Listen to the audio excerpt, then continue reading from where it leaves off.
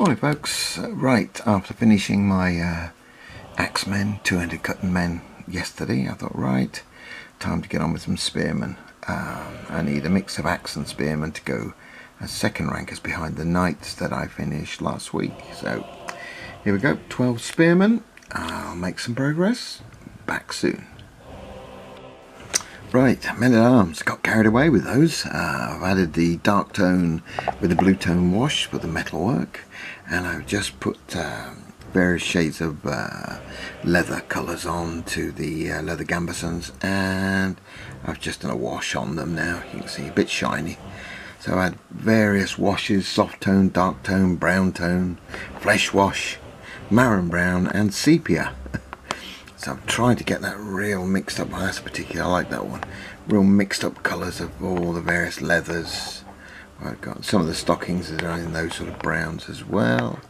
Yep, also you can see them showing up hopefully. We've got here, oh that's a, that's a sepia, oh, that's a sepia that one. A little bit darker, but it works for me.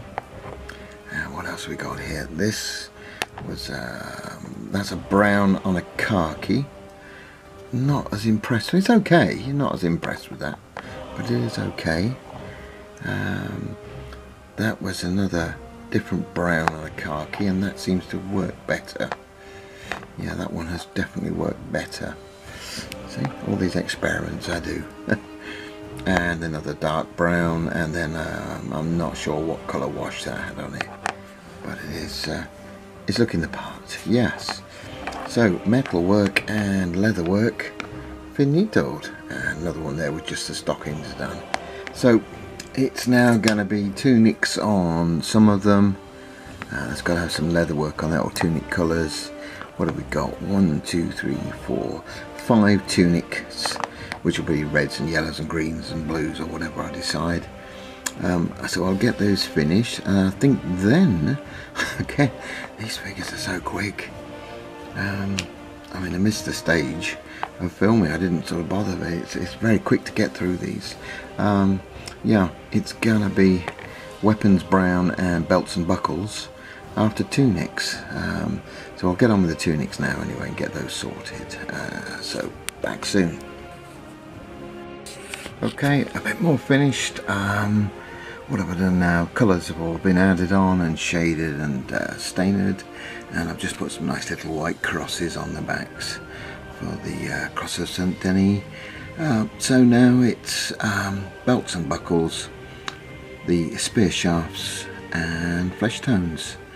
Um, so I think I'll come get those finished and then come back for a final roundup. So back soon. Okay, there we go, all finished. That's the 12 Spearmen. Um, no problems as you'd expect, they're just nice and basic figures. They do, uh, they do look nice I think when they're done. I mean that to me is a particularly nice figure, just works out well. Uh, nice creases in the fabric.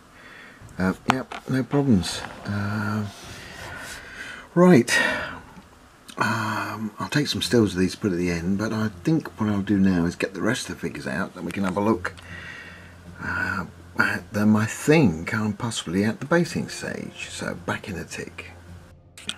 Right, there we go. As you can see, that's the um, the mass of the figures. So over the back here are the uh, spearmen I just finished, 12 of those, and there's 12, there's actually 15 various um, spears and 200 cutting weapons, 200, even two-handed cutting weapons from the other day.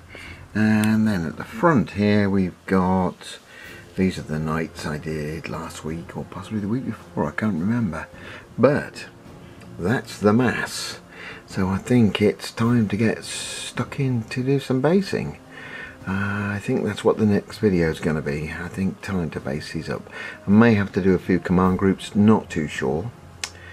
Um, anyway, thanks for looking. Um, that's the Spearman you tuned in to watch. So thanks a lot and bye for now.